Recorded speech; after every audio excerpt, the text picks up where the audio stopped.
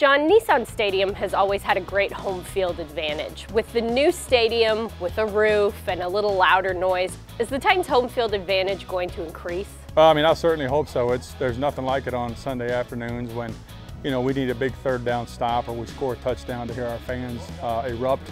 And, you know, the sound escapes out the top, but hopefully with a roof over the top, it kind of reverberates back down and, you know, it becomes even more intimidating for our opponents.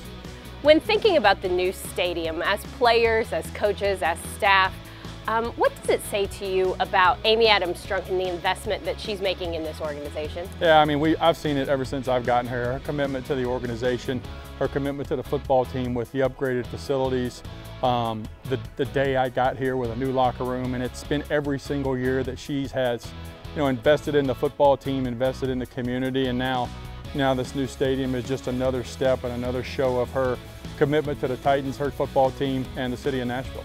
You're a native Tennessean, so you remember the pride that everybody felt when the Tennessee Titans came to town and got their own stadium. Now with this new stadium, is that just another step in the amount of pride that everyone can feel about this organization? I, th I certainly think so. I mean, it's going to be a first-class facility.